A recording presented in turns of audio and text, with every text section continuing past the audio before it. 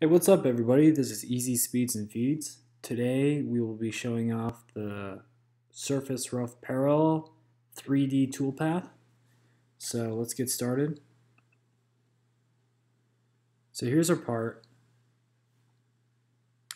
It has this big angle in it and it's really steep and it's deep. It's about three inches deep. So far we've faced the part and dynamic milled all almost everything except the angle out. So when you go to parallel, and we need to click that surface we want to machine. So we'll click that surface. Click the check. Now we'll select our tool, reinitialize speeds and feeds. We'll check out our tool. It's about five inches long it's undercut and it can only take out about 500 thou and has a 20 thou radius on it so it can surface. So we go and we leave 30 thou on the face. Max step over will go about half the diameter of the tool. Max step down 100 thou. So radial cut quarter inch, depth cut 100 thou. Tangential line extension will go 200 thou so it goes past the surface and we'll go to backplot and what it's doing is not really what we want it to do. We want it to start machining at a different direction. So go back into parameters, machining angle, we'll type in 90 degrees, click the check, regen, and that looks a lot more like what we want. So we go to the right view, go to backplot and click play, and this is a really fast way to rough out steep angles. So we're using a long end mill and we're leaving 30 thou in the face and we're just roughing it out. So this is a lot faster opposed to using something like Flowline which would engage the full three and a half inches of depth we have here. And to use flow line instead of rough parallel, you would need a tool with three and a half inches of flute, which is kind of hard to come by, and it would chatter. So this is this is the best way to do it. So we're going to verify, and we're going to check out what's going on.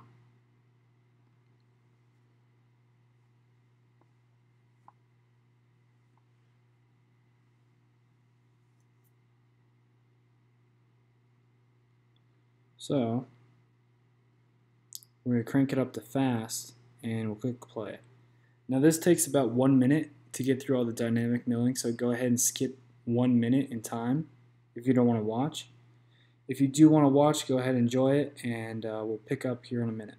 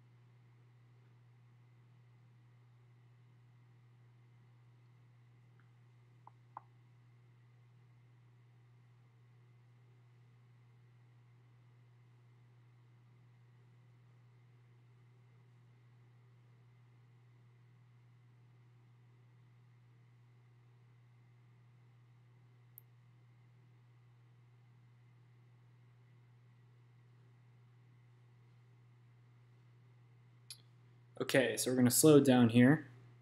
We're getting close to where it starts our 3D toolpath.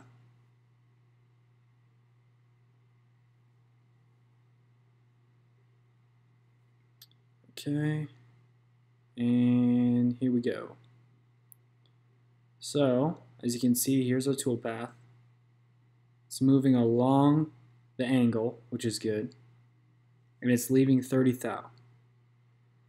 Now the things to keep in mind when using surface rough parallel are your depth cuts, your step over, so your radial cuts, your angle of machining, so if you want to go along with it or like we showed before, going perpendicular to it, or you can type in 45 degrees and go at an angle, whatever works best for your surface. And uh, those are those are the main things you need to keep in mind. So that's what it looks like when you rough out the angle plus 30 thou. Now we left 30 thou because we want to, in our next video, show how to use a flow line and finish it. So this is a two-part video. Check out our next video if you want to see how to finish this angle and subscribe. Uh, we'll see you later. Thanks.